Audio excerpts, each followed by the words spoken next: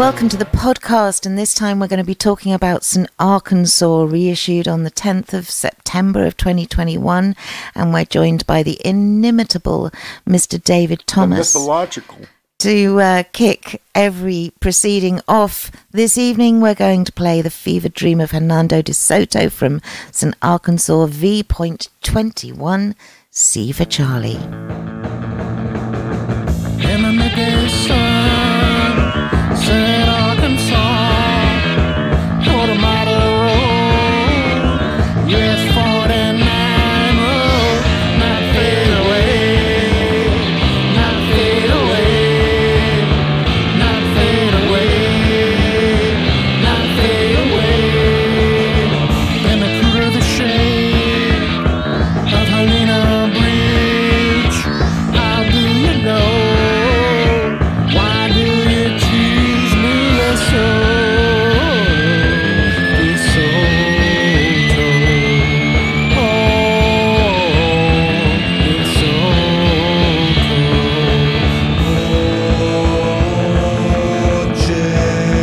So, Yeah. David Thomas, The Fever Dream of Hernando de Soto. Who on earth was that, for goodness sake?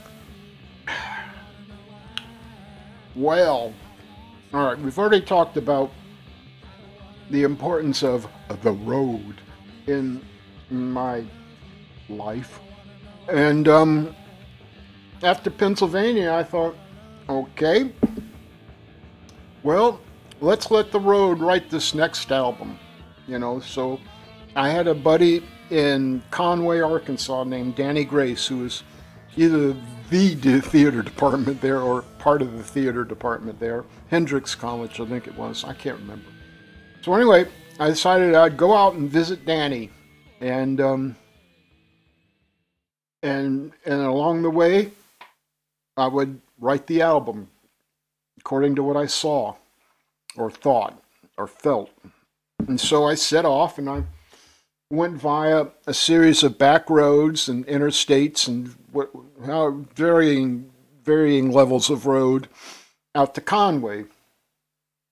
And along the road, I I wrote, for instance, um, Lisbon. Is that on the album?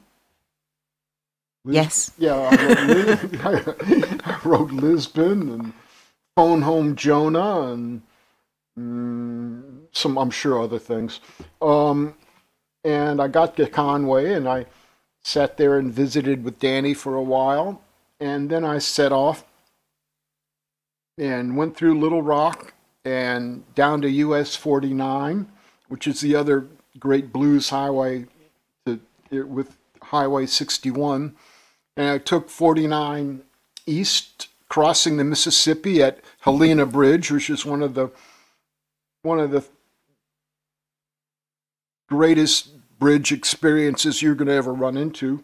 Um, and I highly recommend it. Until I crossed Helena Bridge and into Mississippi, and um, before I got to US 61, I um, the first thing on the other side of the Mississippi in Mississippi, uh, on the other side of the Mississippi in the state of Mississippi, is out in the middle of nowhere, a huge um, casino where you just, you know, I didn't, you know, you can see it often on a side road in the distance. It's just like Las Vegas, plunked down in the cotton fields of Mississippi, just astonishing. And right near there, I passed a road sign which talked about um, Hernando de Soto having set up camp here, and, and this is where he died, or something, something along those lines. And then I went on into, I think it was Clarksville, which is where 49 and 61 meet up, a very famous blues town. And then I took 61 back up north to Memphis and back home. So um, I was very struck by by um, by this casino and in this in the in the sign commemorating the death of Hernando de Soto, who was a Spanish explorer back in this region in the that region in the 1500s or something. I can't remember.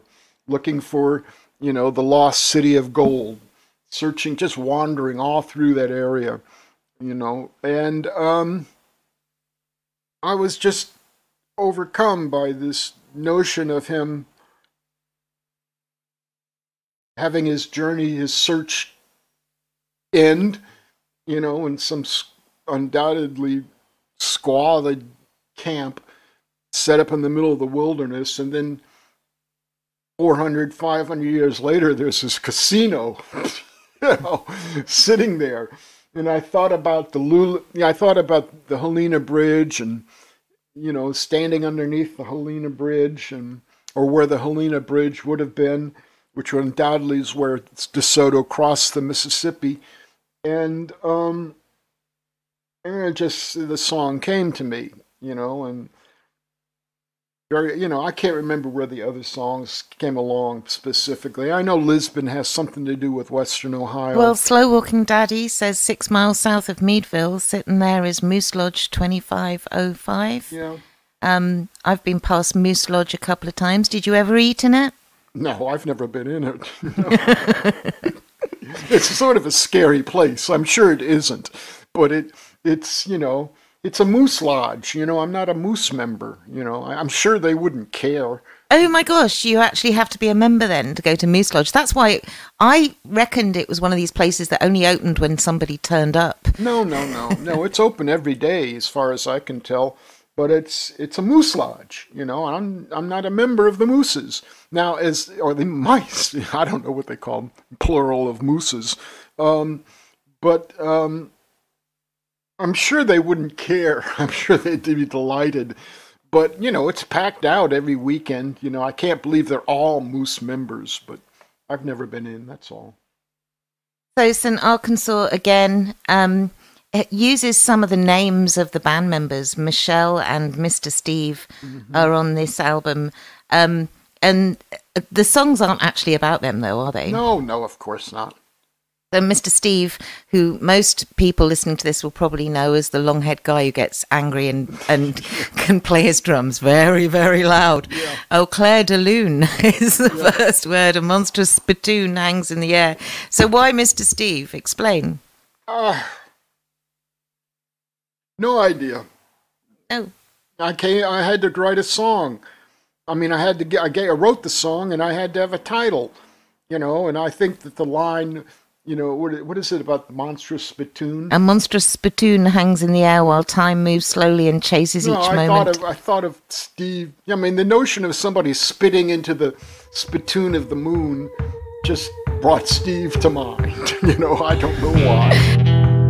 Oh, Claire de Lune, a monstrous spittoon hangs in the air while time moves slowly and chases each moment, each shape discreetly, each one a bead. So many beads on the string that binds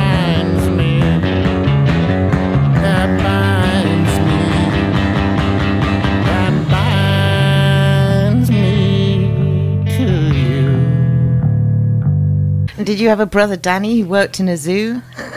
um, he has a brother not named Danny, and he. No, that was about my brother, whose name is not Danny, and he does not work in a zoo. You know, but um, and it's really not about him at all. But I don't know. I that's the song. The song. The song. I, that's what I needed in the song at that point. His brother Danny works in a zoo. You know. Um, Conversely, the song about Michelle, if you really get into a poet's mind, is is very Michelle. It's very abstract, but completely on point. Um, and she loves those kinds of songs. They they are very much Michelle's song. The sheet is nearly white, but something still nags at me. It's a smear of graphite. I think it might be you.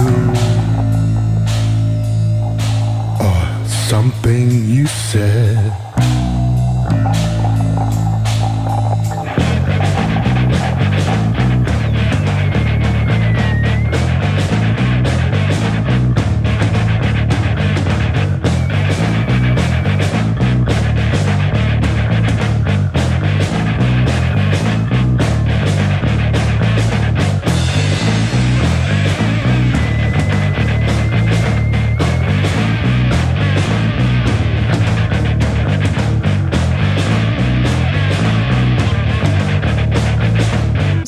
So, um, you know, did did she lead that one? Did you actually have?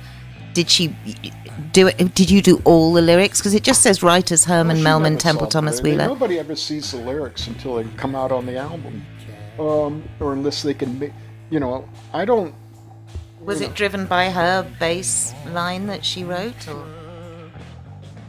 Well, everything is driven by everybody's lines that they write. But no, Somebody that, has- that song from the beginning was called Michelle. I had no, I had no, I had no reason to call it. I didn't have a logical reason to call it Michelle, but it just seemed to me to encapsulate Michelle. Now I don't, you know, I don't, you know, Michelle's a very dear person and and very very dedicated um and i don't i can't remember what's what's what are the lyrics in that song It's the eraser. I am an eraser. The sheet is nearly white, but something still nags me. It's a Oh, smear yeah. of graphite. I think it might be you or something you said. know that, yeah that's not about her that's about No, but she loves that abstract kind of. I yeah, want to say well, shit. I- she loves I that just- abstract shit. all i can tell you is that from the beginning sometimes i don't have a title for a song like mr steve and i think who's going to be spitting at the moon steve of course you know but michelle was always called michelle i i really uh, I, you know, this is the way my mind works. I, I'm not going to sit here and explain my mind to you. These new band members had, had kind of bedded in by this time. Yeah. Um, you'd toured with them. They'd done some of the older material in shows, most notably at the Rock and Roll Hall of Fame, um, where you did the modern dance, and they were they were now, I presume, just someone that you could, some people that you could turn up and know that they would know what you need. Oh yeah, well Michelle and well, Steve had everything charted out. I mean, Steve had everybody's parts charted out. You know, Michelle would work would work assiduously to be ready for any any tour. You know, I could call them up tomorrow. In fact, I'm convinced. You know, and and do a show the day after tomorrow without any rehearsal. You know, they they they are consummate professionals and consummately dedicated to their own work. I mean, to the work. You know, um, I wish I had 40 or 50 of those sort of people. You know, Keith and Dids are very much the same sort of people. You know, um, that's, you know, I hate rehearsing. I despise it more than you can imagine. Um, because it's a waste of my time and a waste of my. I see my talent as a as a limited glass, you know, and every time I have to sing, there part of the contents of the glass go down just a little bit, you know. So, um, I have I don't I know the material even if I can't remember what section it's in. I know the material, you know, and they follow me. You know, the people people like Michelle and Steve and Keith and Dids Gagarin, you know, they they just follow me. You know, they'll they'll do it. You know, if I go off somewhere, they're there with me. You know, so um, you know, Steve even knows would know my parts. I would turn to him at a certain various sometimes during a show and say, "What's my next line?" you know, how many? How and he many times- always knew that was what was yeah, well, annoying. the, the startling He thing is he always always he always knew, you know. And he says, "You come in after four and a half, but if you make it four, it'll be all right." You know, I mean, you know, I I wish I wish everybody worked to that level. And another thing I've got to say, the reviews of St. Arkansas, unlike the reviews of St. Arkansas, I'm sure, that are going to be in 2021, nobody even either noticed or cared that this wasn't the, in inverted commas, founding members apart from Yeah, David yeah. Thomas. I mean, uh, I'm reading this one which says while St. Arkansas doesn't divert from the paths the band members have already travelled, it's worth remembering that these guys started this trip 27 years prior to this album.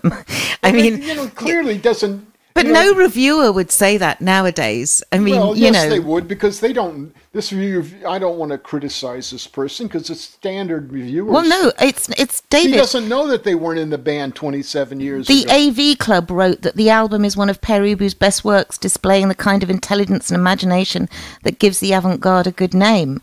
All, mu- All Music wrote that the band's lyrical and musical crea- creativity is undiminished by time. You cannot read a review of Pere Ubu now without it mentioning somewhere something about ever-changing lineup and all that sort of thing. Oh, yeah, yeah. And you know, it must have started to piss these guys off because they'd been there now for Oh, a, quite a few years. Keith Moliné sort of bridged this era because he toured a lot of this material, didn't he? In he- Arkansas. I mean, Keith and I go back to the early 90s from Yeah. the Pale Boys. I but mean, with Ubu, he's With Pere Ubu was, I don't know, later in the 2000s somewhere. I don't know. But you know, I I I go back a long time with people. I um I want to read you this, which uh, we actually had somebody come and help us go through all the old clippings, and a lot has come to light, and it's a really kind of startling review of a gig that you played um, in 2002 by a woman named Heather Wild, and she couldn't find how to get there. She was pissed off as hell because she'd been told to go and review this band who she'd never heard of and she couldn't find it, and the weather was miserable. And um, I believe she's actually in St. Arkansas, actually, but I It's will not get called. St. Arkansas. It's called Arkansas. Arkansas. um, and so she finally finds the car park, and and she asks somebody, um, uh, you know, where do I go to see this band? And this guy told her where she went, and it turned out when they appeared on stage that it was Tom Herman who told her where to find the band. But I know I'm talking a lot, which people don't want to hear me, but I'm going to read this to you. Right? I don't remember the names of any of the songs. I don't remember the words the singer spoke in between songs. And I don't remember what most of the band looked like. I remember staying on the edge of my seat, listening to the experimental sounds and the hypnotizing voice of David Thomas. And I remember him cracking jokes between songs and taking sips from his whiskey flask and getting pissed off at the faulty mic stand.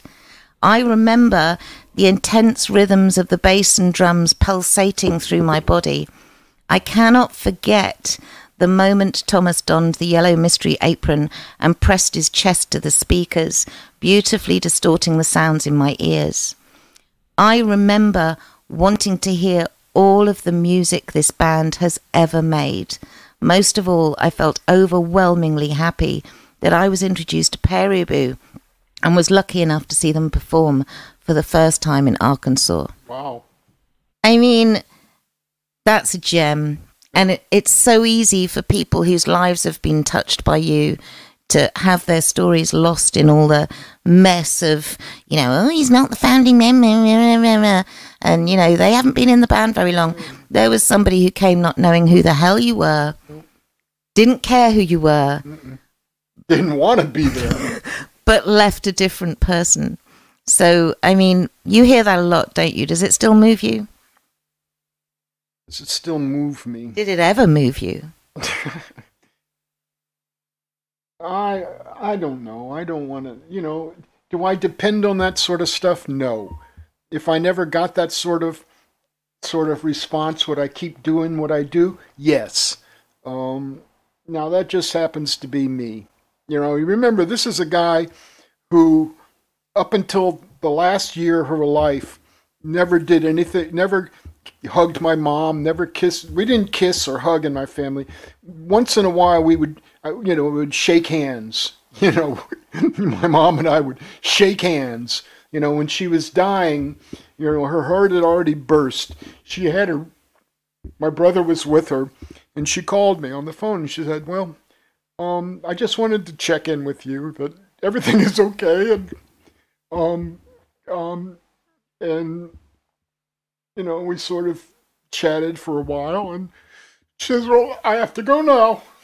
And, you know, that's the sort of family I come from. That's the sort of so when you say, "Does this move you?" I don't know. I don't know if it moves me or not. It's it's gratifying. It's helpful, you know. But would I change anything? No.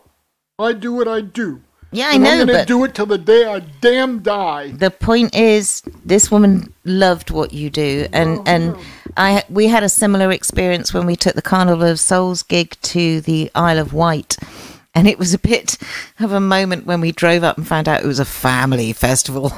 Babies in prams kiddies on Oh, on there's bouncy castles. There was this whole time in the early '80s where everybody thought I would be a, particularly in Holland, where I'd be a children, good children's entertainer.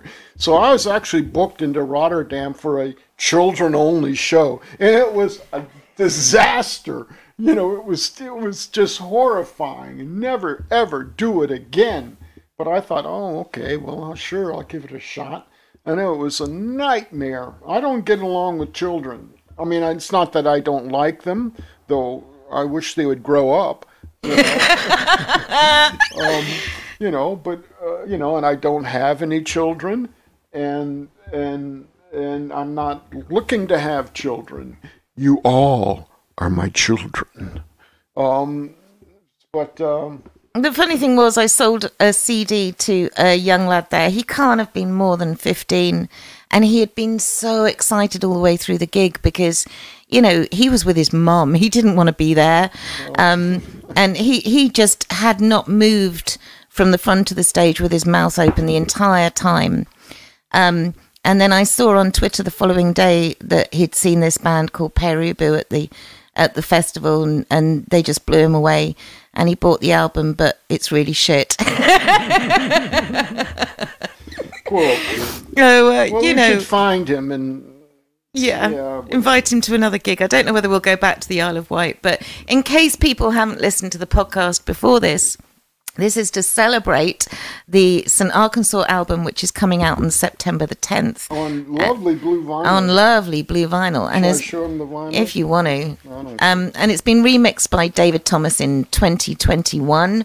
Um, and frankly, you could call it a different album. Um, yeah, well. Slow Walking Daddy blew me away because I've heard that many, I many times. Do this. I'll do it in a second. All right. So we're going to play Slow Walking Daddy now. Enjoy.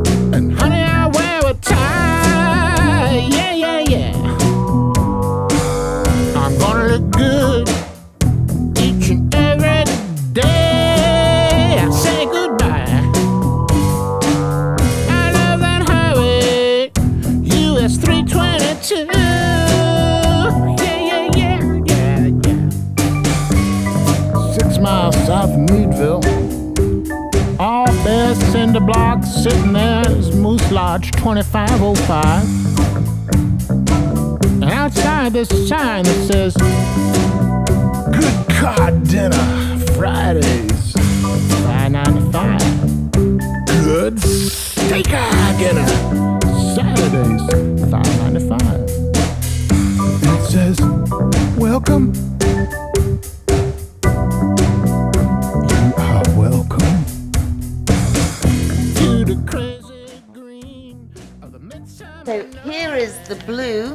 Of the album. Beautiful blue. And it's got the Don't green. get your fingers on the got the I know, right? On Instagram, all these record stores invite the the star along to hold their album. So many of them are holding the vinyl, not on the edge. Probably trying to ruin it, so they have to buy another one. Exactly. So anyway, Well, this is mine, so I don't This is David, so I'm not allowed to ruin it, but I can't get it back in because it's so new. Um, so yes, they've been remixed, and in case people haven't listened to the podcast before this, or perhaps even you'd like to say it in a different way, Um, you've given this a more live sound. However, I'd question that with this one because this one I think sounds even more polished and and I don't know. It's just exciting, David. Well, what do you want me to do? Well, I want to know when you went from Pennsylvania remixing to St. Arkansas, did you approach it in exactly the same way? Yes.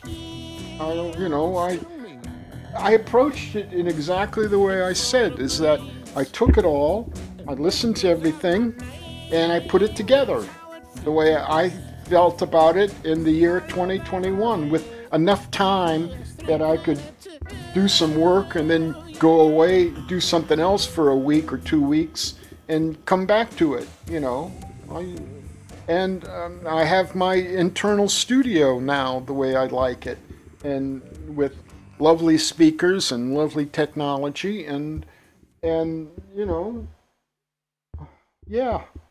In uh, we were talking on the last podcast about how the media argument sort of ramped up a notch um, in the lyrics.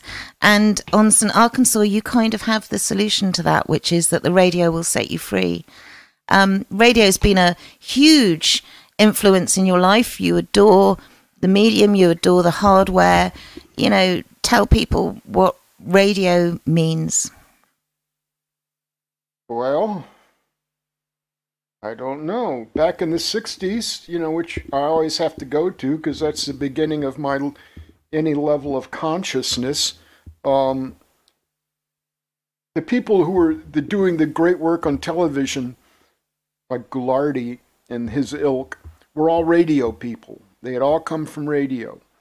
Um, and so, though they were in a different medium, they were bringing the old, they were bringing radio, their, their aesthetic values from radio. And they were all basically punks. You know, long before they were punks, they were punks, you know, real punks, you know. And um, so I remember getting my first transistor radio, and it was a little battery operated thing about this big, and it had seven transistors. You know, now I didn't know what a transistor was, but this one had seven you know, and I would I would sit there all night. I would turn the radio on next to my pillow when I went to sleep and just listen all night, you know, have it playing all night long. And there there used to be this guy on late night radio named Alan Douglas, I think it was, and he would he would talk about he would have people come in and talk about UFOs or or various Fortean events, you know, and conspiracies and this, that, and the other. I don't know. It was, it was just one of those sort of shows. Um, and I loved radio. I love the notion of these sound waves, all of these transmissions passing through my body, through the walls, through everything, through the air. You know, there to be picked up by seven transistors. You know, um, and everything has been, you know, my my life has been centered around radio. Now, I don't I don't you know, I really don't like pop radio very much, you know, um anymore, but I listen to it, you know, it from time to time. Um I tend to not listen to much talk radio anymore cuz I'm fed up with it all. But um uh I can't tell you why. I don't know. It's just that from the very I'm maybe the last of the radio generation, the last of the record store generation of people.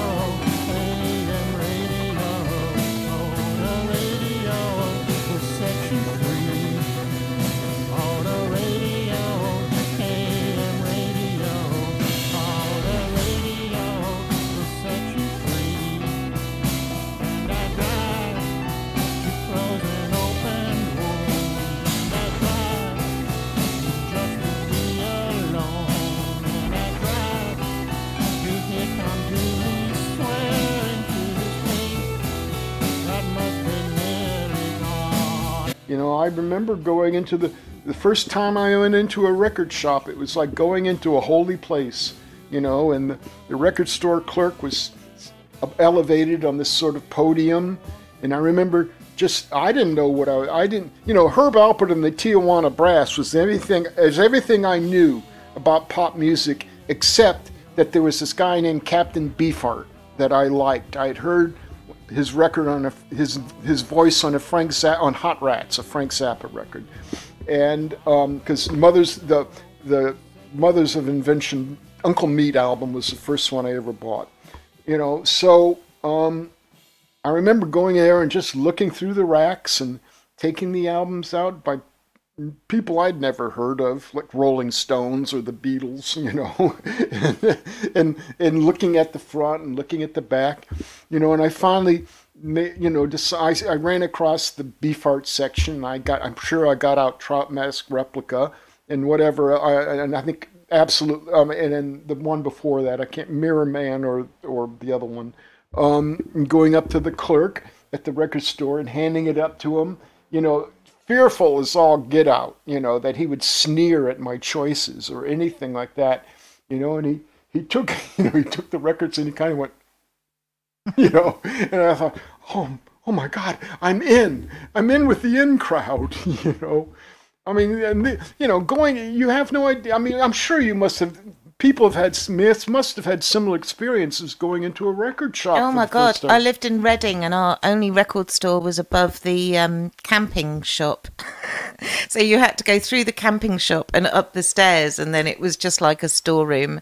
Um, but yeah, that was where I bought my very dubious uh, choices of first albums. What was your first album? Oh my god, that's going to be so embarrassing. What? Sticks. Yeah. well, the first record I ever bought was a single in the year 2525. I mean, I remember taking that home and going, oh boy, you know, because I was into science fiction, you know, I've always been. And I, you know, I listened to the hell out of that. In the year 2525, if man is still alive, you know. And then the next single I bought was um, was a Bob Dylan single, one of his romantic ones. Um, Lay Lady, I think, it wasn't it Lay Lady Lay, Lay Across My Big Brass Bed? And those are the first two records. Then my buddy and I were making films, stop action films, The Day the Earth Met the Rocket from the Tombs was this 20 minute stop action film made with prunes, you know, and various things, you know, props. And um, took us forever, you know. And he was he was into Zappa, you know, and he he gave you know, uh, and I heard Uncle Meat, and I thought, oh, this is good. Now you go from Herb Alpert to Uncle Meat, okay, by Zappa, you know, and and I thought, oh, okay. So I, I, I, I, I maybe that's when I went and got Hot Rats from the record store.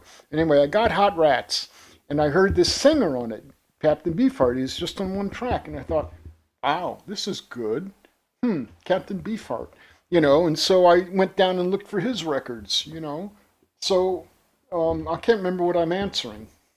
no, neither can I.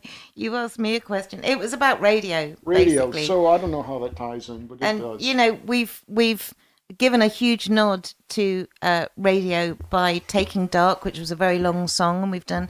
You've done a radio edit of it. Um, the radio shall set you free. Yeah. Um, and this is kind of like I mean, Pere Ubu have been played a lot more on radio recently, but the early days and and you know as a sort of nostalgic thing or whatever. And uh, BBC Six have always been very supportive of, of playing the the new uh, titles. And you actually did a radio show as well recently where you picked out your your favourite songs to play on oh, Soho Radio. On Soho, what, what was it called? Soho Radio. Soho Radio. So do you think you're a frustrated DJ? Yeah, no, I'm not a frustrated. I couldn't. I a DJ has to listen to tons of stuff, you know, and I'm not the sort of person who's going to listen to tons of stuff, you know. Um, my favorite DJ at the moment is Alice Cooper, who does a late night show, all night late night show every like five times a week on Planet Rock or whatever it's called, and and he's a very good DJ. But um, and I suspect he doesn't really listen to all this stuff. You know, I'm sure he just phones in, you know, phones in bits that they drop in between. But um, no, I I've never had any inclination to be a DJ. I I would I would I'm not mentally suited to it.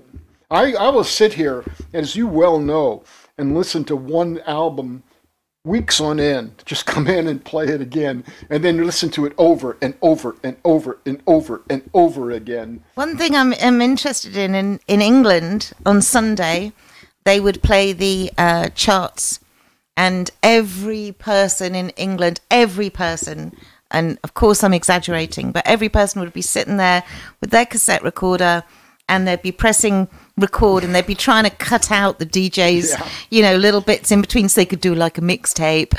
Um, was there anything like that in America where it was an actual national program that everyone tuned into? No, I mean there were national programs like Dick Clark's, Dick Clark, and you know I'm sure a couple others. Um, but I don't. I never had any inclination to sit there and. Oh my know, god, it was so exciting when you got Well, the you pause have to button. remember this is a, in the '60s. There was AM radio. AM radio was king. None of this damn hippie crap about stereo and talking. Hey kids, you know, uh, you know, t- no, it's hey, yeah, we're on here now, and here's the question mark and the Mysterians. You know, and there was a dozen stations. WIXY 1260. You know, and, and CKLW out of Detroit. You know, and on and on and on. So it was just constantly playing. You know, uh, you didn't have to, you know, and there was none of this nonsense and baloney that came in with FM radio. I hated FM radio. You know, I mean, I liked the people; they were nice people, they were dedicated. You know, but I didn't. I I really didn't like the stereo. You know, hey, you're gonna, you know, sort of thing. But uh, forget it. I want AM. Well, uh, we're going to play the radio shall set you free for now, but just so that I can show my face again. The only reason I bought a Styx album was because it had a hologram on it, and everybody told me it looked really cool All on right, your what was the on your stereo. you? Uh, the second album, I think, was Bat Out of Hell. yeah, it didn't Well, get much better. not- you know, no, he Meatloaf is an accomplished pop performer. I mean, I I have no, you know, great arrangements, totally bombastic as all get out. Oh, You yeah, but he had to a- You could never. I don't think you could ever put anybody's album up against those Meatloaf albums for bombacity. I mean, that was it was taking bombacity to a to a futuristic extreme. Yeah, but to be fair, he had a songwriter. Well, yeah. So you know, I'm surprised you're not compared lazily to to Meatloaf more often, but they tend to compare you most to to Beefheart, Well, etc. has, has absolute. Uh, you know, the only reason I get compared to Beefheart is because we both have strange, different approaches to things. You know, Beefheart was very, very directly influenced by the blues. You know, my influence from the blues is far more indirect, far more tempered with country music, far more tempered with folk music, and various other things. You know, we don't even sound alike. You know, I wish I could sound like Beefheart. I would give anything to be Captain Beefheart, but I don't set out to imitate him. And I, you know, and if you had, if I had to say what the most influ, single most influential album in my life has been, it's Kick Out the Jams by the MC5. That taught me everything I needed to know about rock music and recording and music, and it can teach anybody else the same things. So on the 10th of September, these two reissues, if that's what we want to call them, although they are sounding very different albums, are released Yeah. um, on Fire Records, and you're going to be going live. Um, with a live, live, live gig, not a pre-recorded live gig, No, but a, don't a live, live gig with Gagarin and Keith Moliné. Um, what are your expectations of how that's going to sound? Because surely that's going to be different again. Well, I don't have expectations, you know. I mean, this has been set up, and I'm I'm not going to think very much about it until three minutes before we hit the broadcast button. You know, it's just the way I am. I don't I don't I don't anticipate. I don't imagine. I just do what I'm supposed to do. So after this, you know, you'll have been doing a lot of looking back. You've you've remixed pretty much everything, including we've got the box set coming out in January, which has the final "Why I Hate Women" and well, so, but why I hate women will not be on the album. no, Uh, um, in the box set. Yeah, oh, no, that's no, a big surprise that's coming. This is this is one of my greatest, and this is one of my single greatest accomplishments is when that comes out because this this is going to, you know, well, no, you you I get to as I get to tell you what my my points are, which is that this is this is a major breakthrough in rock and roll history. a lady from Shanghai, Carnival of Souls, and Long Live Pere Ubu. So, yeah, we're excited for the gig on the 10th. That will be live streamed. You'll have to keep an eye on our social media and Ubu Projex to see where that will be. Yeah, but we never announce these things particularly well, except Um, be at the honest, last minute. it's because You're supposed to give me calendar updates. For We're the always- year. but We're always don't. worried it's all going to fall apart terribly and not happen. So it's always a bit on the edge of your seat. Um, anyway, we're going to finish this podcast with 333. I'm very aware I didn't hit record on my own camera. So you're going to have lots of interesting things to watch instead of me for the first half of this podcast.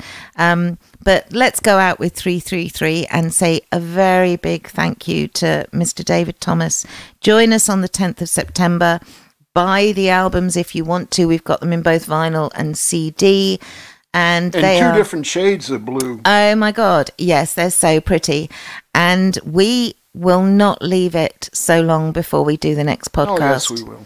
Um, we've been very, very busy over at patreon.com slash Perubu. If you haven't seen what we're doing there, we live stream three times a month with completely uh, original shows that have new videos and archive live footage. And to be honest, it's it's meant that this pandemic has been the busiest time of Oh, our yeah. I, I've been careers. busier this year than ever before in my life. Also, check out our Bandcamp releases. I think that may be the focus of uh, one of the upcoming podcasts. Uh, there's some very interesting stuff with our official, unofficial bootlegs. Um, and uh, yeah, go take a listen. You don't have to pay anything unless you want to, but if you do want to, then we Pay love them, you. pay, yeah, if you do want to, pay me a lot. Um, and we will see you very soon. Here's 333. What people say. TV says it's gonna be the way, and I guess I don't know. Make a man a born fish or fool. And oh baby, gonna play it cool, man. My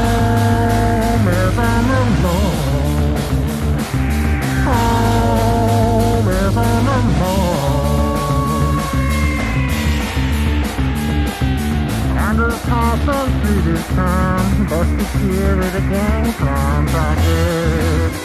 They like the view.